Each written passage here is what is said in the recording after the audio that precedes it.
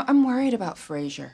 I mean, all of this pretending, making up excuses, lying to his son. Mm. He should know it's not all about shared interests and hobbies. It's about showing up for your child. At least, while they still let you. Alan, I didn't mean to stir up any. No, no, no, it's, it's all right. Just wish I was in a room with my daughter so she could tell me we have nothing in common. I'd give my right arm to have a tenth of what Frasier and Freddie have with my Nora. Sorry. You know, it's good to vent to someone who isn't a cat.